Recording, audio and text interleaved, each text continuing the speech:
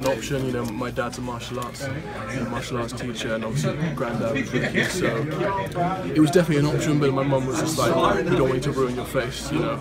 You know, and I, I wanted to play a team sport. I've always played team sports, so I wanted to, you know, if, if nothing ever happened, you know, that would have been something further down the line. You.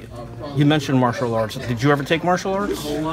Well, my dad was an instructor, so I mm-hmm. never took it officially. But you know, every time I'd walk past him in the in the, in the hallways, he'd grab my hands and start trapping and start doing some sort of. So not officially, but A lot of pass rushing has a lot to do with hands. Yeah, how, how much did you incorporate into that? Well, there you go. I mean, funnily enough, Mm-hmm. something that I've been doing my whole life is something which relates to this game, you know, heavily, especially in my position. Well, that's the one who you saw in the locker room your first day and you were like, wow, I'm actually in the NFL locker room with this guy? Who was that guy for you? Probably AP, I think. Yeah, I think AP was actually when when I first, you know, googled American football. AP was the first person who came up, and I seen his highlights, and I was like, wow, I could do that. So I mean, it is kind of it's a bit weird, but it's you know, it's cool, you know, that now I'm on the same team as him. Yeah, I can apologize, I came in a little bit late, but what's been the biggest adjustment for you? at the speed of the game. I think, you know, like, I definitely took to it very well in college. I'm very coachable and, and all that, but um, the speed of the game, um, the speed of how quickly you have to learn things, you know, the size of the playbook. Um, obviously, I'm coming in a week late for OTA, so I'm really trying to catch up. But um, those are definitely the things that I think is a lot different than college. Yeah.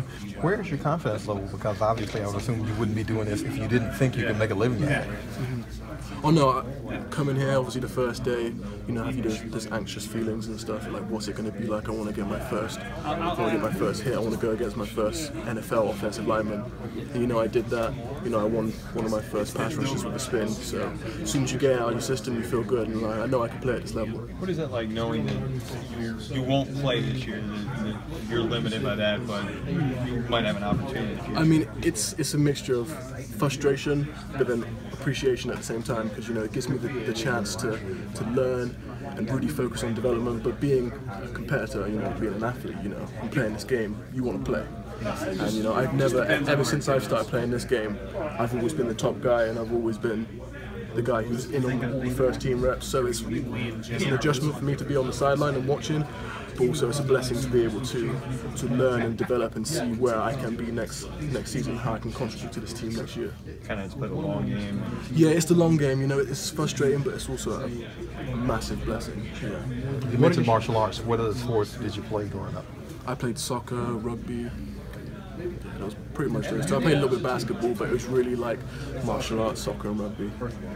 What are your thoughts just about the city of New Orleans yourself? What do you think about New Orleans? I think it's a great city. You know, when I first came here last week, I just I went to Bourbon Street, I went to the French Market, got me some authentic New Orleans food. I think it's great. It's got kind of like a little island vibe to it. I don't know, but I'm really excited to learn more about the city and stuff like that. Yeah. Yeah.